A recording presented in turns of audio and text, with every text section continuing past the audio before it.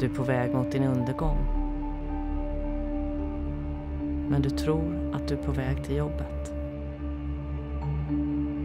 Jag har ännu inte insett att den här dagen för alltid kommer att dela in tiden i ett före och ett efter.